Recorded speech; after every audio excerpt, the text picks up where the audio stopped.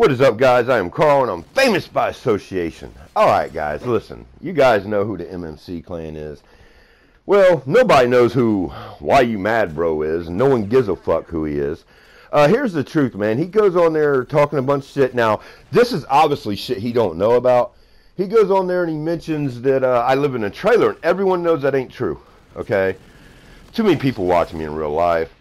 Um, yes, they've looked some shit up about me, but it's not the correct shit.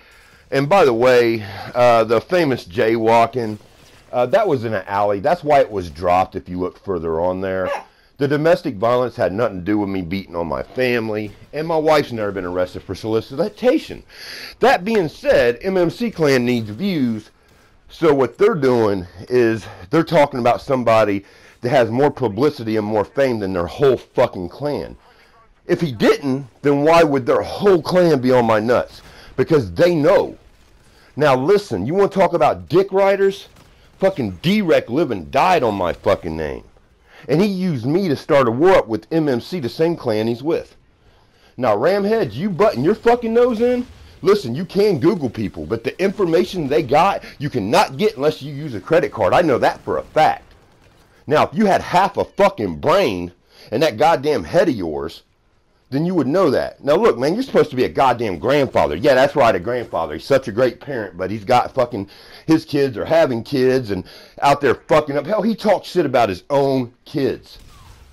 The Ramhead does.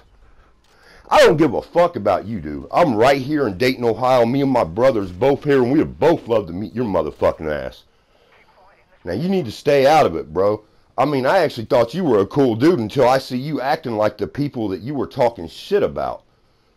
You were talking about how pathetic they are. Grow the fuck up, man. I'm so done with this MMC shit. I'm having so many clans contact me and tell me how whack that shit is. Man, y'all don't know no real shit about me. I ain't heard a fucking single thing y'all said that was the truth except for jaywalking. And if you look further on, that was dropped. And if y'all don't believe me about me playing ball, I give a fuck less. People that know me in real life do. So a bunch of fucking nobody little scrubs. I mean, look at your clan. The people that show in their face. My God, there's is there not a pretty person in your fucking nasty ass clan?